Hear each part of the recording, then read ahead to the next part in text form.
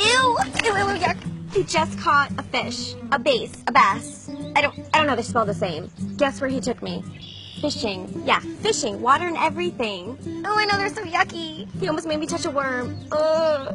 He said fishing, so I thought we were going on Daddy's yacht and getting sushi. Well, he is cute though. You should see him in his little fishing outfit.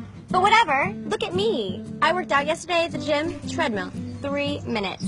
Mm-hmm. Almost worked up a sweat. All I know is when we get back to dry land, eBay. Me or the boat. Of course it's gonna pick me. I don't know, the boat's kind of sparkly though. My outfit matches it, and I did not even plan that. That's so funny. I need another guy that doesn't take me fishing. I know.